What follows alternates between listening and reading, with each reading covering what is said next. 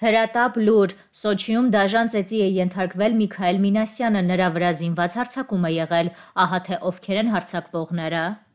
Ինչպես հայտնում է Facebook-յան հայտնի օգտատեր Մանե Էլբակյանը, այսօր Ռուսաստանի Սոչի քաղաքում գտնվող Միշիկ մականվամբ Միքայել Մինասյանը, ով Հայաստանում հետախուզման մեջ է գտնվում, ծեծի է ենթարկվել ըստ ականատեսների հայտնի Radisson Blu հյուրանոցից դուրս գալիս նրա վրա հարձակվել են Սոչիում մեծ հեղինակություն վայելող գողական աշխարհում հայտնի անձինք, ովքեր կապեր ունեն Հայաստանում։ Թե ինչի համար է ծեծի ենթարկվել Միշիկը դժվար է ասել, բայց ծեծի ընթացքում նույնիսկ Միշիկի երկու թիկնապահները չեն խառնվել, նա հասցրել է ճողոպրել հյուրանոց։ Դա կարող է խոսել այն մասին, որ թիկնապահները ճանաչել են տվյալ քրեական հեղինակություններին եւ վախեցել են հետագա հաշվեհարդարներից։ Մանել Բակյանի անդրադարձը իր Facebook-յան էջում այսօր առավոտյան Սոչի քաղաքում գտնվող Radisson Blu հյուրանոցի մոտակայքում ծեծի է ենթարկվել Միքայել Մինասյանը։ Ըստ ականատեսների նրան ուղեկցող երկու անվտանգության աշխատակիցները փորձ չեն կատարել միջամտելու, որից հետո Միշիկը մի կերպ ճողոպրելով փախել է դեպի հյուրանոց։ Իդեպ ասում են Մոխրոտիկը մեկ կոշիկով է փախչել, մյուսը մնացել է դեպքի վայրում։ Ասում են ծեծի մասնակիցները Սոչիում հայտնի գողականների կլանից են։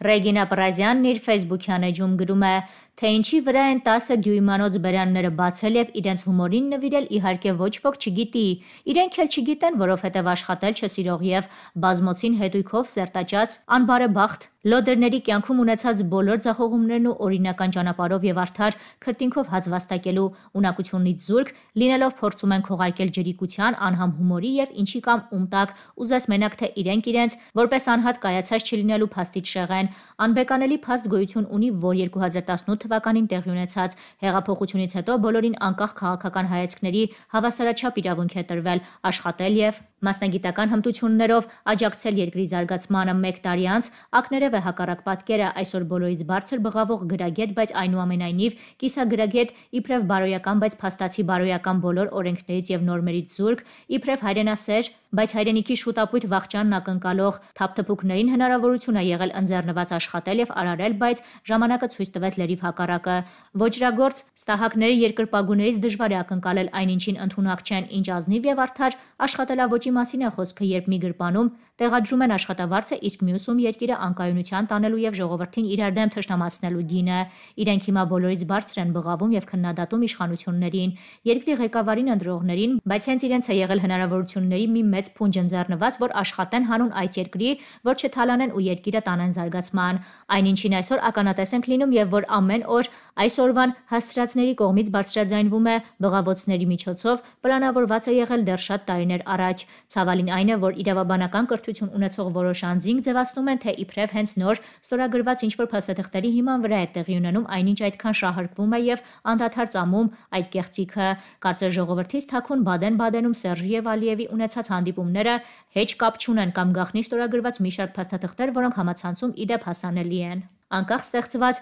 լարված կամ գերլարված իրավիճակի, ես վստահում եմ այն մարդկանց, ովքեր փորձում են երկիրը ճահճից հանել, թվում է թե ելք չկա, բայց չգիտեմ թե ում է ինչ թվում, կամ չգիտեմ թե ում է ինչ թվում, բայց միշտ էլ ելք կա եւ ինչպես ասել է հայտնի շախմատիստ Գարի Կասպարովը, Շախմատում կարևոր չէ թե քանի քայլ ես դու առաջ, այլ այն թե ինչպես ես վերլուծում ներկա իրավիճակը։ Ի հեճուկս ոմանց որովայնային ցավերի պետք է ասեմ, որ շատ ուրախ եմ Պաշտպանության նախարարի պաշտոնում Սուրեն Պապիկյանին տեսնել։ Չնայած որ ինչպես շատերի ինձ համար եւս անակնկալ էր այդ նշանակումը մի առիթով կատակեցի եւ ասացի, որ պետք է մեկ ընդհանուր նախարարություն ստեղծել եւ նախարար նշանակել Սուրեն Պապիկյանին։ Համենայն դեպս նախորդած պաշտոններում ունեցած հաջողությունները բավականին հուսադրող են եւ ես վաղուց էի սպասում այդ կարևոր պաշտոնում մի այնպիսի նշանակման, որ ամենևին պնայում աշխատած չլինի եւ որևէ առնչություն չունենա այդտեղի քույր եղբայր պաշտոնյաների հետ։ Ասածս չեք հասկանա, բայց ժամանակը ցույց կտա, որ դա շատ կարևոր կադրային քայլ էր հուսանք ամեն ինչ կընթանա ի նպաստ Հայաստանից ու իշահ ժողովրդից։ Առաջ Աստված ամեն ինչ լավ է լինելու։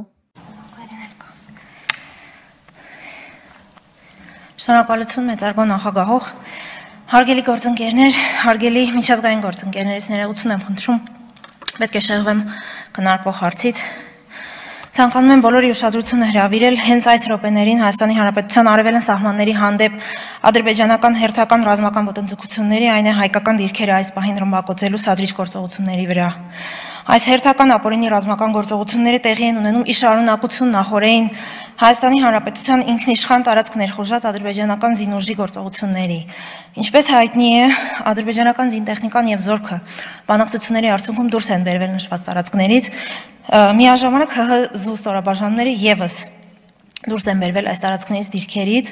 այնուամենայնիվ նշված հատվածում շարունակում են ծավալված մնալ դերևս այս տարվա մայիսին ՀՀ ինքնիշխան տարածք ներխոժած ադրբեջանական զինծառայողները։ Մեր միջազգային գործընկերներին, այդ թվում ՀԱՊԿ-ին, ԵԱՀԿ-ին, ԵԽԽՎ-ին, ԵՄ-ի մեր գործընկերներին կոչ են կանում իրականացնել զսպման անհրաժեշտ գործողություններ, ուղղված ադրբեջանական հերթական սադրանքի դատապարտմանն ու հետագա գործողությունների կանխմանը։ Ցանկանում եմ շեշտել, որ ադրբեջանական ռազմական ագրեսիան ուղղված է Հայաստանի Հանրապետության ինքնիշխանության, տարածքային ամբողջականության դեմ միաժամանակ սպառնալիք է հանդիսանում տարածաշրջանային անվտանգության ու կայունությանը եւ հակասում է 2020 թվականի նոյեմբերի 9-ի հայտարարության դրույթներին, Երակոմ հայտարարության դրույթներին, խոչընդոտելով տարածաշրջանային կոմունիկացիաների բացումը եւ սահմանների դեմարկացիայի եւ դելիմիտացիայի գործընթացի մեկնարկը։ Վերահաստատելով Հայաստանի Հանրապետության իշխանությունների եւ ժողովրդի վճռականությունը Հայրենիքի ինքնիշխանությունը, տարածքային ամբողջականությունը եւ անկախությունը պաշտպանելու գործում կոչ են կանում մեր միջազգային գործընկերներին հանդես գալ առավել հասցեական եւ թիրախային կոչերով ուղղված ադրբեջանական ռազմաքաղաքական ղեկավարության անհերատես եւ վտանգավոր գործողությունների դեմ, ինչը ինչի բացակայությունը կարող է ընկալվել իբրև մեր գործընկերների, միջազգային գործընկերների անտարբերություն եւ ստանձնած հանձնառության բացակայություն։ Շնորհակալություն։ Եթե կարելի է հարգարժան նախագահող, ես կցանկանայի անգլերենով եւս ընթերցել հայտարարությունը։ Համեցեք։ Շնորհակալություն։ Thank you. Dear international partners, I want to draw everyone's attention to the current provocative actions of Azerbaijan against the eastern borders of the Republic of Armenia, namely the bombing of Armenian positions at the moment. These regular illegal military operations are a continuation of the actions of Azerbaijani armed forces that invaded the sovereign territory of the Republic of Armenia yesterday. As known, the Azerbaijani military equipment and army left the territory of the Republic of Armenia as a result of negotiations on November 15. At the same time, the subdivisions of Armenian armed forces were also withdrawn from these positions. Nevertheless, Azerbaijani servicemen who invaded the, the, sovereign territory of the Republic of Armenia in May this year continue to be deployed in the mentioned areas. We call on our international partners, including the CSTO, the OSCE, the PAC, and EU partners, to take the necessary measures to condemn another provocation by Azerbaijan to prevent further provocative actions. The ongoing aggressive actions of the Republic of Azerbaijani armed forces and the intolerant and belligerent rhetoric of the political leadership of Azerbaijan is directed against the, sovereignty, territorial integrity, and regional security and stability. However, at the same time, it contradicts the provisions of the Trilateral Declaration of November 9, 2020 these actions of Azerbaijan serve as an obstacle to start the process of deblocking of regional communication, as well as demarcation and delimitation of borders between Armenia and Azerbaijan, in fact jeopardizing the whole process. I would like to emphasize that the Azerbaijani military aggression against the sovereignty and integrity is a threat to the regional security. Therefore, uh, reaffirming the determination of the authorities and people of the Republic of Armenia to defend the sovereignty, territorial integrity, and um, independence of our homeland, we call on our international partners to take more targeted calls against the short-sighted and dangerous actions of the Azerbaijani military political leadership, which will show and determine the attention and commitment of our international partners. Thank you. Շնորհակալություն Ինգրիդ Նուրյան։ Հարգելի